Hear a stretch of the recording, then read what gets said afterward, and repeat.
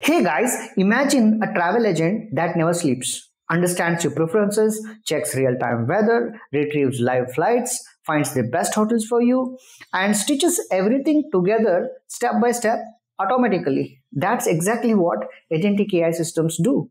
And today I'll show you how to build one using LangGraph. So let's get started. So if you're a developer, AI engineer, ML or a data engineer, or someone who wants to build uh, real world agentic AI applications, this video is for you. And today uh, we are going beyond rag. I have done enough of uh, rag uh, videos and you can go check out my other videos. So but today we are building a fully agentic uh, ai system using langgraph um, it's a framework uh, used to design advanced and uh, multi-step workflows. And um, our use case today is a travel planner ai agent agentic system that actually works which um, it, it, it will fetch the um, real-time weather and uh, hotels and it'll suggest the best flights for you and uh, much more. So let's see that in act. So what are agentic ai systems? So it's very important to understand the meaning of agentic when it comes to agentic ai systems. So agentic the word agentic refers to the ability of an ai system to act independently autonomously uh, take initiatives and help with uh, goal driven decision making instead of just merely responding to commands right? Otherwise it becomes just like another chatbot. So what makes an ai system agentic? It it, it basically perceives information. Uh, it, it will know what the user intent is when there is a query comes in from a user and it thinks step by step. Since there is an llm involved it's it can think step by step and it acts using tools. So there are tools connected. It can do tool calling api calling whenever required and it it iterates and self corrects it it acts as a self critic to its own responses so that uh, it will know that the response that it has created is it um, is it acceptable or not acceptable?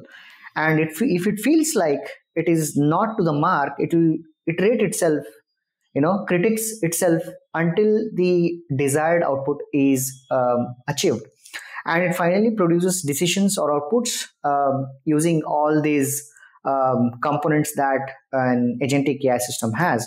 So this is not a single prompt uh, and uh, this is not even a rag uh, this is a system where each step is an agent node and LangGraph orchestrates how these agents talk to each other. So we will see how actually LangGraph works and what is LangGraph in the next part of this video. So let's understand what is LangGraph, right?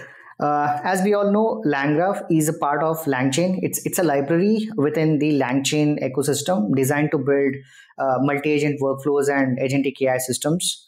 Uh, so LangGraph basically provides a framework for defining, coordinating, and executing multiple LLM agents uh, in a structured manner. So think that when there are multiple agents required for a complex uh, user query, uh, when when you're solving a complex user query, you need basically need multiple agents, and to coordinate uh, all these AI agents, you need a framework, and that's what um, LangChain basically helps you with.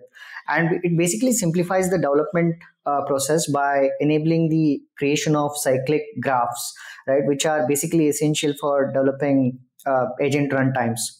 And with LangChain, uh, sorry, with LangGraph, we can easily build robust, uh, scalable, and flexible multi-agent systems and workflows. And uh, you might say, hey, can we use uh, traditional approaches? Uh, like LangChain or chains or um, basic prompt pipelines. Um, they are great, but they are kind of very linear. If you if you use LangChain, the flow of data or the execution flow is kind of very linear. The data and the execution flows in in a linear way. You can't do dynamic tool calling or API calling there. So that's where uh, LangGraph basically shines.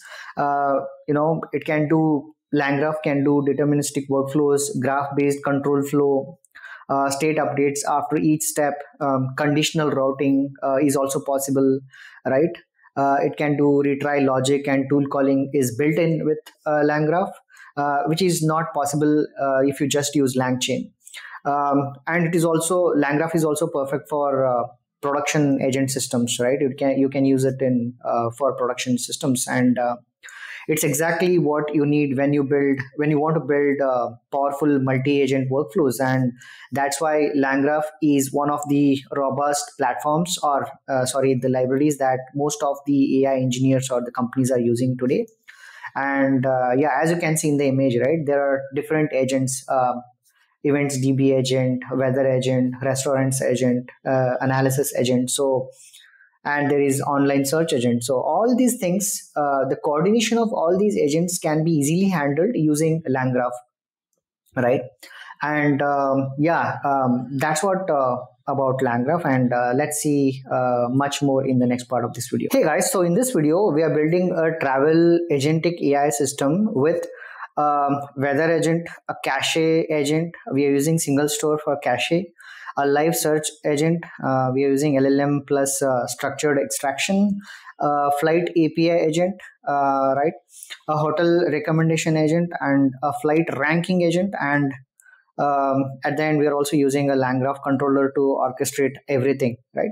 So we'll connect them, draw the graph, and then run it. So we'll see um, how this works practically using um, the tutorial that I'm going to show you. So here is how our graph looks like um, the workflow graph, uh, we have the weather node that gets live weather, and there is a caching node checks if we already have results in the SingleStore database, and uh, if cache hit, uh, jump directly to recommendations. If cache misses, uh, run the LLM live search agent, and then flight API agent for real airline data, then store node to save results, and finally we'll get hotel recommendations and then flight recommendations you uh, by the uh, two agents that is hotel recommendation agent and flight uh, recommendation agent.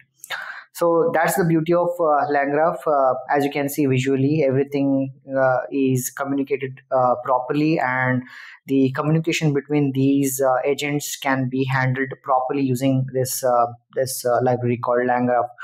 So let me um, let, let us go through the code walkthrough in the next step so that I can show you how this whole um, uh, travel agentic AI system basically works. Okay, guys, so let's start with the code walkthrough. Uh, but before the code walkthrough, uh, since we are using SingleStore as a cache uh, for cache and also to store uh, our results, so you need to have SingleStore account. Uh, so SingleStore has a free shared tier uh, and you can use it for free until you finish your credits. So go to singlestore.com, uh, sign up. And once you sign up and sign in this is the dashboard. So it's very easy very um, very uh, quick to understand. And uh, you need to create your workspace. Once you land on your SingleStore account and attached to your workspace create a database. So we need to have a database to uh, for the cache system right? Uh, so i have already created my uh, database that is travel ag uh, attached to my workspace. So yeah the first thing is to do create workspace and then uh, a database. And then next thing is uh, you can go to uh, this editor and basically go to a new sql file. And once you go there uh, now inside our database we need to create two tables. That is uh, accommodations and then uh, flights for cache. So what happens uh, when we run this application if the results so we are storing the results actually into our database. So if any other user uh, tries to uh, you know extract the same um, destination or ask the same query the api call uh, you know the openai api call will not go and that, that's where we uh, make sure the cost is reduced for the whole system right?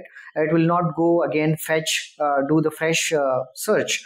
Uh, else it will directly go to our database and try to fetch the already present uh, results. And that's kind of very easy and that's how cache basically works. And that's what we are doing. Uh so get your uh, workspace here and then attach to your uh, database and then run this and um, you, you're creating a accommodation table and also you are creating a flights table. And that's it about the SingleStore and uh, like i discussed so let's go back to our uh, code here right?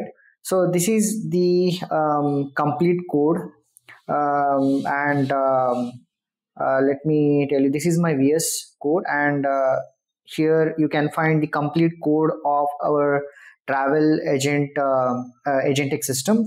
And uh, yeah so state.py is how the entire agent system shares state across the nodes. Uh, and we have the uh, origin destination start date end date of where you want to travel uh, the bedrooms the maximum price the minimum rating uh, the flight flight uh, price maximum flight price weather summary everything is uh, present here and basically maintains the state of the whole system. And we have the uh, main logic main code logic is uh, written in the main.py and uh, once you run this application it will ask you like what is the origin? Like from where you want to travel? And what is the destination? What is the start date end date what type of bedrooms you want one bedroom two bedroom what is the maximum price minimum price and everything is binding together here. And uh, i'm going to show you how this basically works. And we have the graph.py basically. And uh, this is the main application logic of the LangGraph uh, we have mentioned all the um, all the agents here right? And uh, you can see all the agents mentioned here. Um, the weather agent search agent recommended recommendation agent, flights agent, cache agent, right? And uh, yeah, again, it's mentioned here uh, in a node format, right? And uh, yeah, weather cache, live search, flight API, store, uh, recommend hotels, recommend flights. So that is the graph.py uh, and uh, .env is where you will add your credentials like OpenAI API key, um, SingleStore host URL, user, password, um, database name since our database is travel ag that's what i'm adding. Openai chat model uh, i'm using gpt 4.1 and you can change that and uh, this is my uh, aviation stack api key. You can go to aviation stack and then get your api key for free in the fresh uh, free shade tier. And yeah this is our database schema. Um, uh, this is the cache.py how we are uh, you know uh, basically maintaining the cache. Check SingleStore for cache uh, hotels and flights for this route. If both exist, it's a cache hit, otherwise return none. So instead of directly every time going to hitting the API keys, um, our uh, system will go first check the uh, results present in the SingleStore. And then if they are present, they, they can easily retrieve instead of going directly and getting hitting the API every time. That reduces the cost. And this is the SingleStore client API and uh, this is how we are storing store results.py this is how we are storing in a in this format in a SingleStore. And uh, vector search uh, there is nothing. I mean we have left it blank. And uh, these are the agents different agents uh, that we're using cache agent flight api agent uh, flight agent uh, recommendation agent search agent and the weather agent right so now uh, these are all the things we have and uh, let's see how this basically works and let's run our application agentic application and see that right? Let's do python main.py and uh, here you go ai travel agent LangGraph edition and origin. It is asking me the origin. I'll say blr where you want to go? I'll say mumbai. And it's asking me the date 2025 in this format uh, 11 i want to go around 25th and end date 2025 11 i want to come back around 29th bedrooms one. Maximum price per night i want to have $100 and minimum rating is 4 i'll just keep it the same way and then let's see how this works. It is uh, going to our um, agentic system and trying to understand the user inputs and then trying to give us the proper results. Here you go. Uh, as you can see right um, it came up with the uh, raw LLM output. The accommodations uh, name Hotel uh, Marine Plaza, Mumbai, India. Price is $95. Rating is 8.2. Uh, bedroom 1. URL is this. And these are some of the uh, amazing uh, restaurants or hotels recommendations that it gave us. Regency in Mumbai. Um, price is 72 Comfort Stay Andheri, Hotel Suba Palace. Uh, and then now we get the flights data, right? It is suggesting us the flights.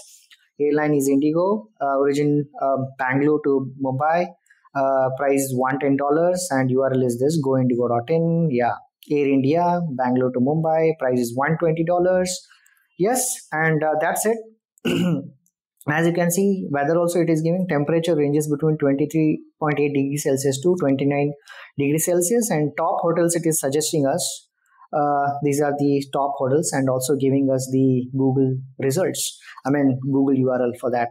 And then these are the uh, top flights uh, it is suggesting, and uh, that's it. I mean, it gave us the whole itinerary. I mean, what we wanted, um, according to us, we wanted to go to Mumbai from Bangalore. I mean, we added our start date, end date. Uh, we wanted one bedroom hotel. Maximum price was hundred dollars, and then uh, and then the minimum rating at least four. And it gave us with all the recommendations, and also gave us the weather. That's how you can basically build, you know, uh, multi-agent agentic applications uh, using LangGraph. And um, yeah, I mean, instead of uh, asking the chatbot LLM again and again the questions, uh, this is how you can basically build, you know, uh, multi-agentic uh, applications using platforms like LangGraph. Um, as you saw, we used different um, different agents here, and we also used um, LangGraph uh, to basically bind everything uh, and communicate so that the agents can communicate with each other and come up with our uh, travel plan and uh, as you can see the top hotels top flights and also the weather right? And now let's go and see the um, how the um, how the um, uh, content is uh, has been stored in our database right? Database um, travel AG as you can see uh, we created two tables you remember? Accommodations and flights. And uh, if we go to accommodations sample data all the uh, thing is present here. And if i ask the again same question it will directly give me the response now. If i uh, add origin bangalore and then the destination mumbai it will suddenly give me the answer without hitting our open api key. So yeah uh, i think i hope uh, you understood how this works. And uh, i'm going to share this um, um, uh, repo code repo in the video description so that you can go and try uh, try with different uh, destinations and uh, different ratings and find um, how this uh, agent application basically works. Um, thanks guys. Thank you